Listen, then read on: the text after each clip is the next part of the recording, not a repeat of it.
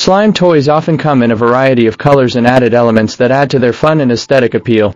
These colors and added elements such as glitter and beads also need to meet safety standards.